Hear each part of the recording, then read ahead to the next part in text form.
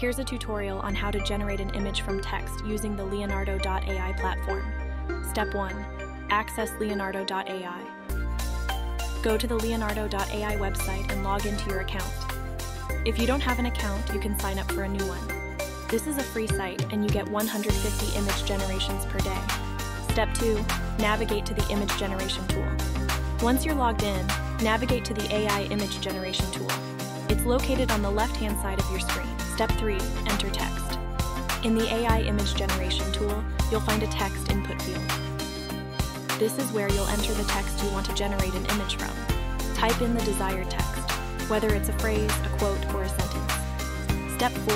Customize settings. Leonardo.ai often provides additional options to customize the image generation process. This may include choosing a specific style, adjusting the image dimensions, or selecting other parameters to influence the output.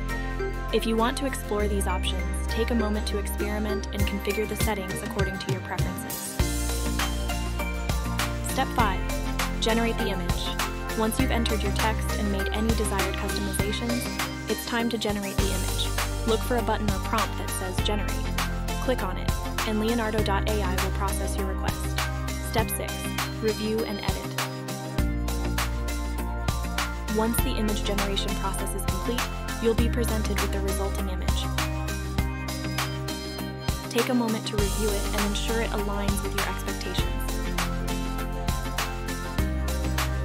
If needed, you can explore additional editing options within the Leonardo.ai platform to make any necessary adjustments or enhancements to the image.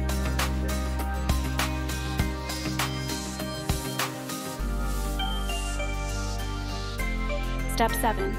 Save and download. Step 8. Utilize the generated image. With the image successfully downloaded, you can now use it for various purposes. You may want to incorporate it into a blog post, share it on social media, or use it as part of a design project. The possibilities are endless.